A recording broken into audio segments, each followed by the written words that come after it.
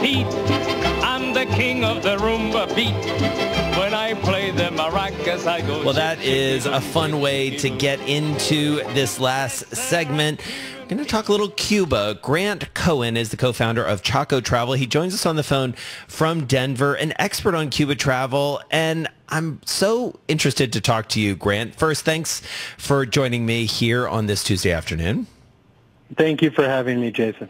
All right. So I'm interested in this because a couple years ago, right as things were opening up a little bit, my family and I went to Havana. We explored around. We stayed uh, there in the old city. It's such a fascinating place. And yet now we're at a moment where we're reversing course as the United States and the opportunities are, are limited. Help us understand how limited they are, where, where we are in this process.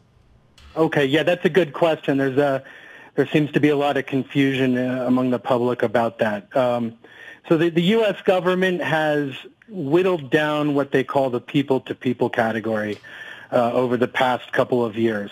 Uh, starting in June 2017, they eliminated the individual people-to-people category, which essentially meant that you could travel to Cuba individually, but you had to follow certain regulations uh, mostly pertaining to uh, engaging with the local people.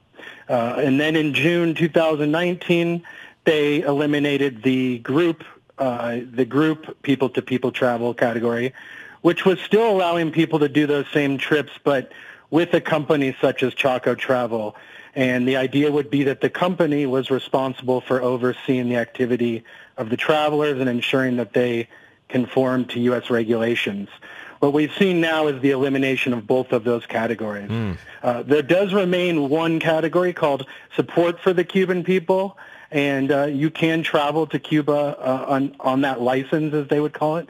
Um, and that's what we operate under. Um, so we we have been unaffected by these changes, as have some companies. Uh, and those companies are, are pretty much all operating under this support for the Cuban people license. And so how much, what's your sense of how much that is uh, ultimately limiting it? Because candidly, I mean, we went under the individual plan. We bought tickets on Delta Airlines. We flew direct from JFK into Havana, you know, bought the, the visa when we got to the airport. It was pretty simple. We got an Airbnb and we took a few tours and I, it was pretty fascinating, I have to say. So all that's gone. How much is that going to make an economic dent? Uh, it, will make an economic dent on, on, on our side um, in the sense that mostly with the cruise industry, they were abruptly, uh, the U.S. government abruptly ended cruises right. instantly. So, you know, at least 800,000 people, they say, were affected by that. That'll be the biggest impact on the, on the U.S. travel industry.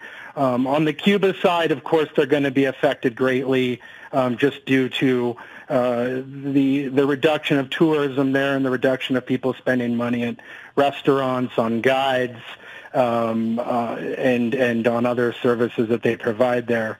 It does not have a dramatic effect, say, on on our operation because we have we have always conformed to the regulations of support for the Cuban right. people, which essentially means what you described.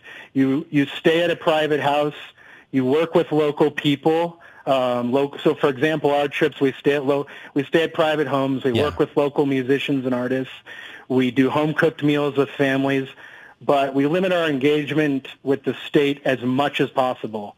Uh, any company that operates that way can continue to operate, and any American that wants to go to Cuba is is free to call me up or to call any other company that's operating that way and to plan a trip.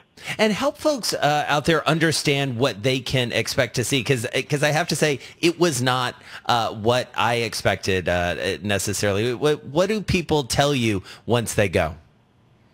Uh, yeah, that's a great point. Uh, so it's rarely expectations about Cuba. A lot of people call me and their their first impression is, you know, maybe it's something like the Bahamas or Jamaica. They've been other places in the Caribbean, and Cuba is an extremely unique country to travel to, um, as I'm sure you witnessed. Yeah. Uh, and so, so what I always say, it, it, going to Cuba is it's a good place to go with a company um, because they're really going to eliminate a lot of the headaches that you encounter. uh, the dual currency that's there that it's very difficult to understand. Um, uh, just a, a, lot of the complexities of, of traveling to Cuba, um, you know, companies such as ours will take care of for you. Um, but when people come home, they've usually kind of acclimated to the, the, the complexities of Cuba. Yeah. And by that point, they're having a great time and they're all thrilled they went.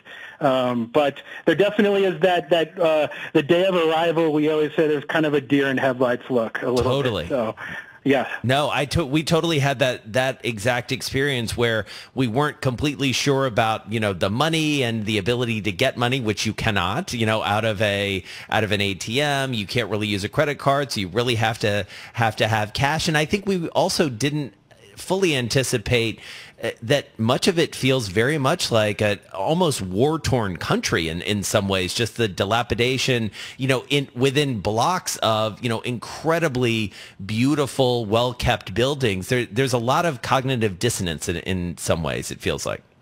Yeah, no question, um, and that's that's the focus of a lot of what we do is is engaging with uh, some. Uh, an, uh, there's an, a well-known architect there who was working in you know pre pre pre revolutionary times and and and now is taking people around the city and, and discussing those kinds of things. Yeah.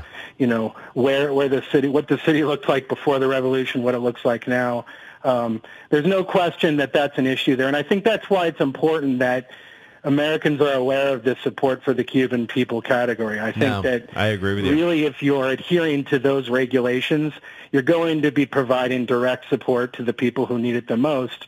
And so, you know, as you as you saw, the, the buildings are falling down. Imagine what it's like on the inside. The refrigerator's broken. Right. It takes you a couple years to get enough money to to to pay for a new one. So so all of the money that you're spending there is going straight to those people who, who need it the most. Certainly a fascinating and complicated story. Grant Cohen is the co-founder of Chaco Travel. He joined me on the phone from Denver, an expert on Cuba travel, and really understands this one category that's left. It's called support for the Cuban people. Uh, look him up if you are interested. Well, that's going to about do it for me here on a Tuesday afternoon. It was a big day here at Bloom.